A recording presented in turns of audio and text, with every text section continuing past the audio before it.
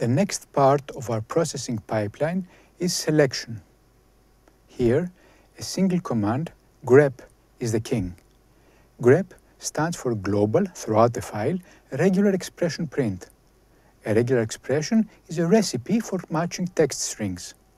At some point in time, the grep sequence was often executed as a command in Unix's line-oriented editor, and you can still do that as a Vim editor's colon command. Users found the editor command to be so useful that its code was used to create grep as a standalone command.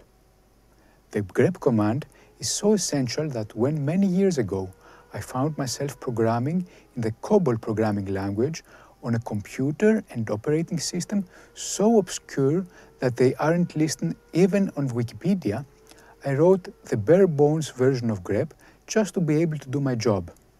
Let's start by looking at regular expressions. As always, remember to try out on your own the regular expressions and the selection commands we'll be examining. When we use regular expressions with grep, by default, they match any part of the line.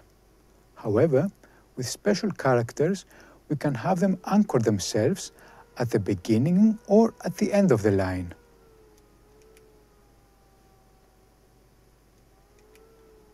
Let's start with a simple example. I run grep baba on the words dictionary to search for lines containing the regular expression baba.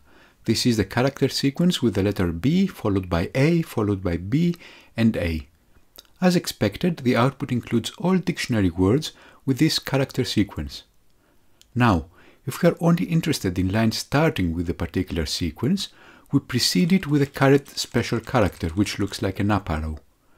Searching now in the dictionary for all words starting with Baba, we only get the words that begin with this sequence. Another special character, the dollar sign, can be specified after a character sequence to match line endings. In our case, there are just two words ending with Baba. The dot character matches any character.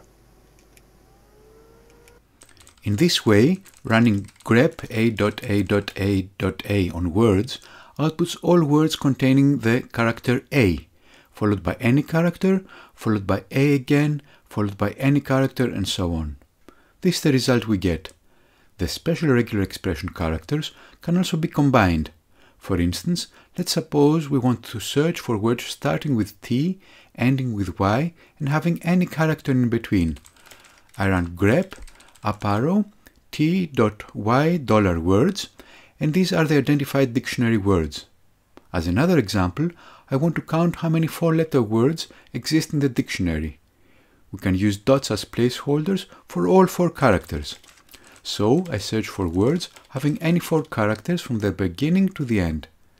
Piping the output to word count, we see that there are around 5,000 four-letter words in the dictionary.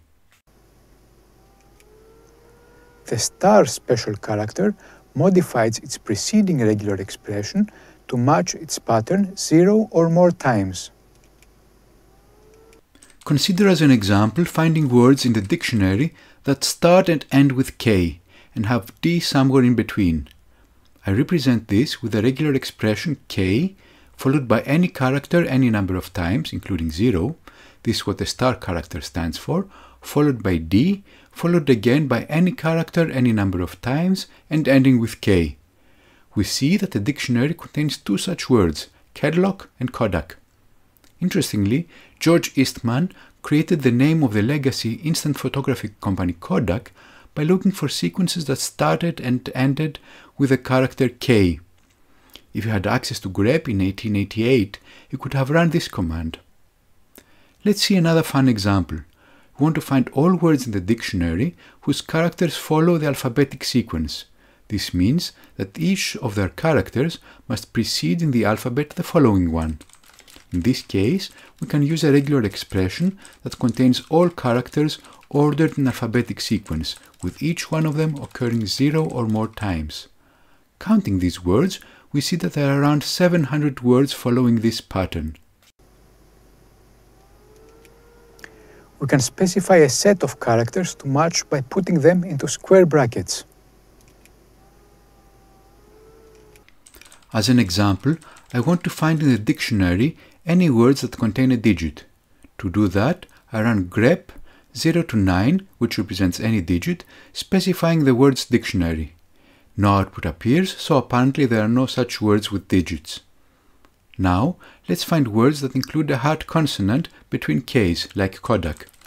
I specify a regular expression that starts with K, continues with any character, then includes one of the specified hard consonants, continues with another arbitrary character, and ends with a K.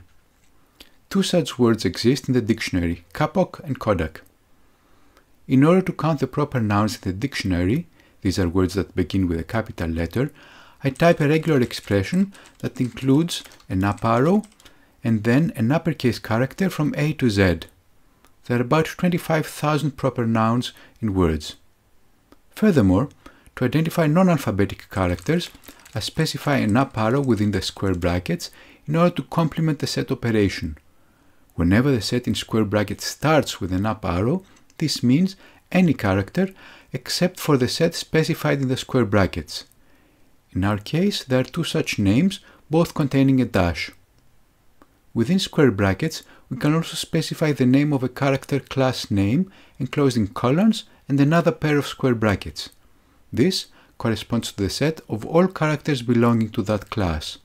Standard character classes include alphanumeric or alphabetic characters, blank characters such as space and tab, digits, space characters, and uppercase characters.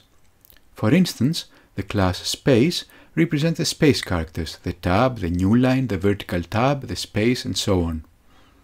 Let's see an example with a character class. Consider the case where we want to find on a Windows PC all top-level directories whose name contains a space character. I first run find on cygdrive C, specifying a max depth of 1 to not descend further and looking only for directories. I then pipe the output to grep in order to specify directory names with spaces. The output includes the various program files and the system volume information directory. To make all those special characters we have seen up to now lose their special meaning, we can precede them with a backslash. Note that the backslash must be escaped or quoted when used in the shell's command line context.